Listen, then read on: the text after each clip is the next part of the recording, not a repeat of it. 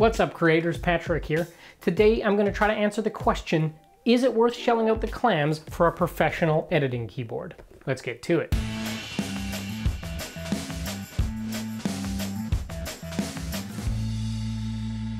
I've been using this Editor's Keys keyboard for Premiere Pro for Windows for quite a while now.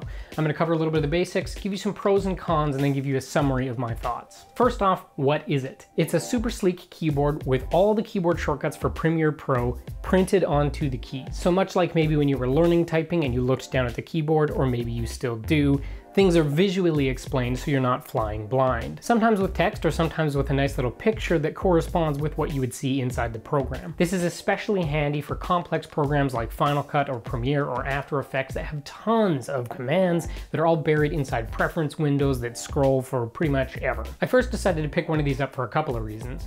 Firstly, I look down at my keyboard all the time.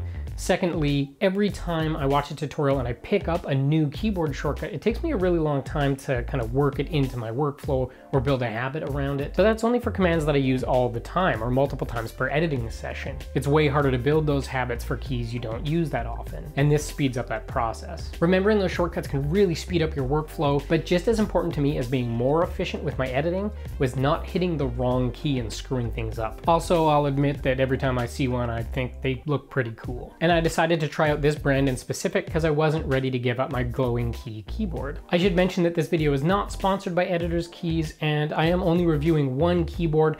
They make keyboards for Mac and PC and dozens of different programs. They have keyboard overlays for laptops and wired and wireless and all kinds of stuff. This is a review of just the Windows Premiere Pro keyboard wired and backlit. Now it comes with a one year warranty and a 30 day money back guarantee, which I actually used the first time because the first one I got had a split left shift key and I kept hitting the wrong thing in the middle of editing. It was a real pain in the butt. So I ended up sending it back and getting one without a split left shift key. So I know that they'll follow through on that return policy. The typing on this keyboard isn't bad. It takes a little while to get used to, but the key response is pretty good and I do enjoy typing on it. My favorite thing about the keyboard, other than the commands printed on the keys of course, is that those keys light up and you can toggle the light on and off. My number one pro, and I cannot state this strongly enough, is that this keyboard has helped me learn more about Premiere and how to use it well. It's great to be able to hit the correct command every time. You can trim a clip you didn't mean to by hitting the wrong thing on the keyboard, so the stakes are pretty high. It's backlit, so you can edit in the dark, as many of us do, and still see not only your keys,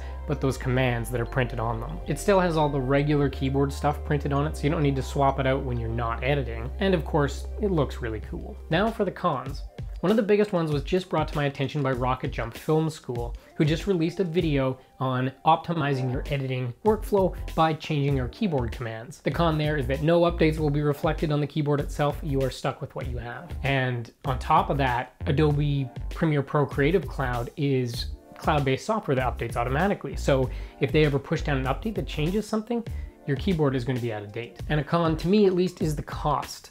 I used to have a keyboard that was the same number of keys and was backlit and I could edit in the dark that was a regular keyboard and it was just under 20 bucks and it lasted me a couple of years and I really liked it. They're a lot cheaper now than when I first bought this model. I think most of them are around 100 or 120 bucks. I bought this one for 159.98 plus shipping that brought it up close to $225. To put that in perspective, I have brand new name brand lenses that cost less than that. Heck, that's roughly the cost of the computer I use 90% of the time. So in conclusion, would I recommend it? Is it worth it? I would ask people to consider how much time they spend in their software software and how well they already know their keyboard commands, as well as to consider those cons like not being able to remap the keys and the costs, including shipping. And for me, if I had to do it over, would I buy it again?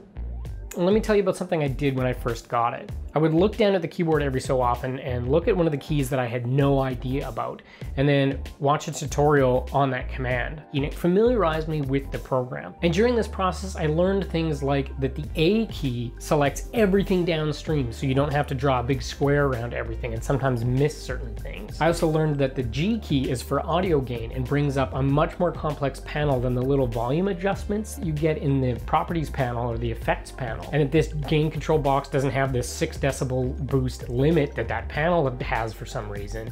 And these things to me have been invaluable. Between learning them and learning to edit better and faster and not smashing the wrong key and destroying stuff, I would say that this keyboard has easily paid for itself and that it's easily worth it.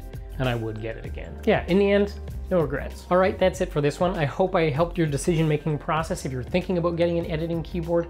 And as always, thanks for liking and watching and subscribing. Bye-bye.